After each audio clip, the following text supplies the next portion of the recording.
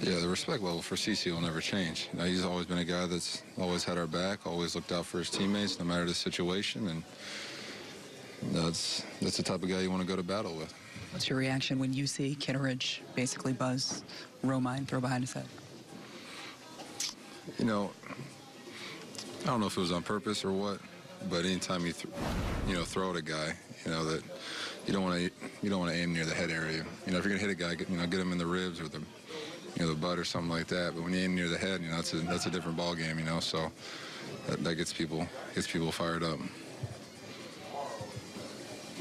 What were the conversations? You it looked like you were, uh, you know, just the Rays' whole bullpen had started to come down to the field, and then you know you were over there by yourself. You look outnumbered.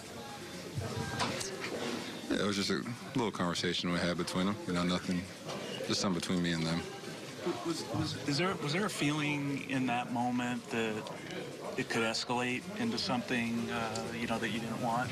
Oh, you never know what's going to happen with stuff like that. You never know if someone's going to run out or someone's going to do something. So you just got to be, you know, be prepared and be able to, you know, protect your teammates. Just got to be in a good position.